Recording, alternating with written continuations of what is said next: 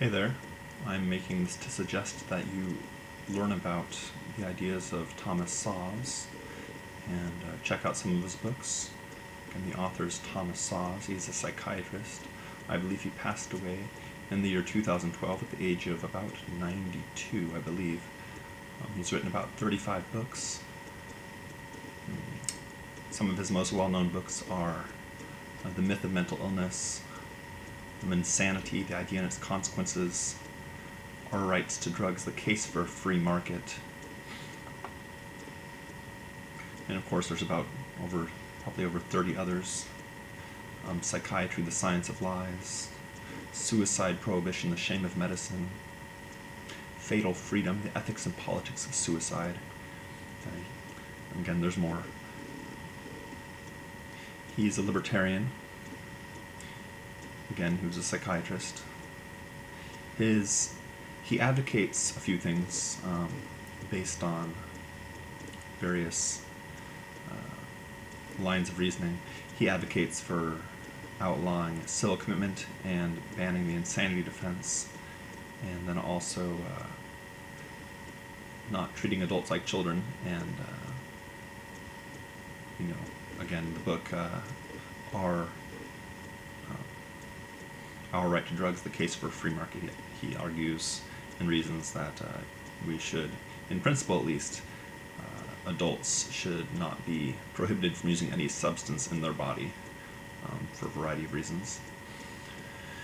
I think if more individuals embraced his ideas, we would live in a more just and free society where individuals experience more authentic freedom and also take on more personal responsibility.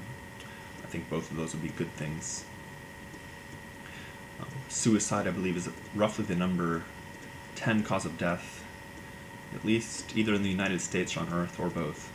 Um, but it, my understanding is it kills about a million humans each year. Uh, kills about a million humans each year on Earth, between like between about 800,000 and a million roughly. I'm going off memory when I when I cite that statistic, but I'm pretty sure I'm about right. Uh, and and in the United States, I believe the number is about maybe 35 to 40,000 roughly per year who engage in suicide. And you know, I do hope that we can have no suicides happening. I hope that all adults want to live on Earth.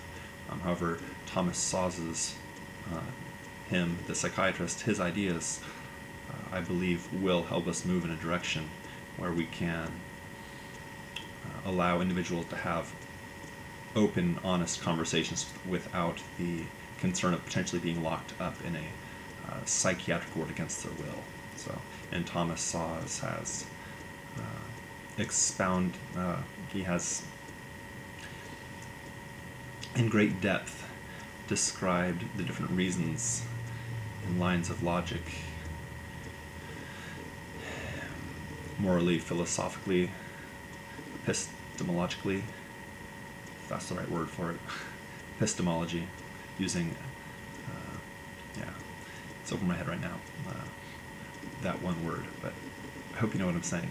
Um, anyway, I'd recommend you read his books. I hope you become informed on his ideas so you can uh, see psychiatry for what it is, um, involuntary psychiatry. Thomas Szasz was not against psychiatry as long as it's voluntary.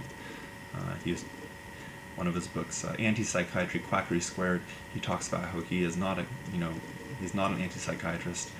He is a libertarian who believes in uh, consenting adults being able to exchange psychiatric services if they want to, but being against involuntary uh, psychiatric exchanges um, between, uh, you know, supposed doctors and mental patients. So I'll end it there. Again, I'm just trying to help spread the ideas of Thomas Szasz, which I believe will help us to live in a more just and free society ultimately.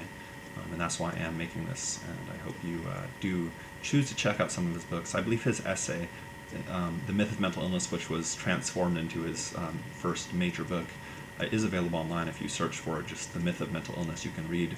It's a, it's a good, maybe, what, three or four or five or six pages, I believe, um, if you want to get a general sense of him. Um, he's published many articles as well, and some of his articles are available online, unless they've been taken down. But in the last few years, I've read quite a few of his articles online um, that he was publishing up in the last uh, few years of his life.